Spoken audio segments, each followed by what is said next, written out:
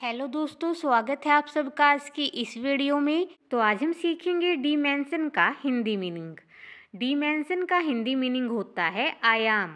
परिमाण, पहलू, पैमाना, माप, लंबाई, चौड़ाई, आकार, परिमाप और विस्तार। सेंटेंस है the affair had a different dimension now इस मामले का अब एक अलग आयाम था। आई होप आपको इस वर्ड का मतलब समझ आ गया होगा। आज की वीडियो में बस इतना ही। Thank you for watching